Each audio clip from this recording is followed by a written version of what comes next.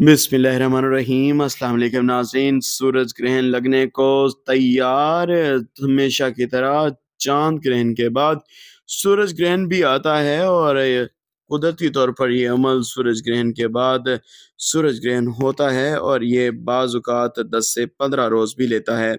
تاہم، سورج گرہن کو ننگی آنکھوں سے دیکھنے سے بینائی کو شدید نقصان پہنچ سکتا ہے۔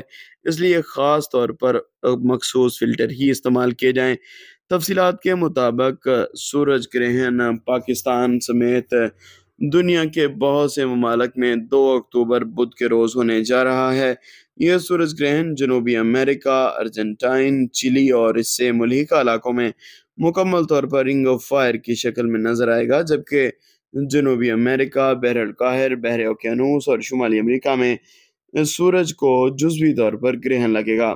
پاکستانی وقت کے مطابق گرہن کا آغاز آٹھ بج کر بیالیس منٹ پر ہوگا، جبکہ گیارہ بج کر پینتالیس منٹ پر سورج گرہن اپنے مکمل عروج پر ہوگا اور رات دو بج کر سینتالیس منٹ پر سورج گرہن ختم ہوگا۔